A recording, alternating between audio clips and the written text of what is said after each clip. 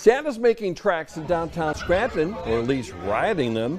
Steamtown National Historic Site is back for a second straight year with its North Pole Limited. This hour long round trip ride takes kids and their families through the Steamtown Yards in downtown Scranton to the Nay Aug Gorge. And while you're on the train, you will see Christmas carolers, festive decorations, and of course, Santa himself, along with Mrs. Claus. It brings brings people in, brings families into the museum. The kids are thrilled to be able to meet Santa. Plus, Santa is on the trolley itself. So, and it grows every single year.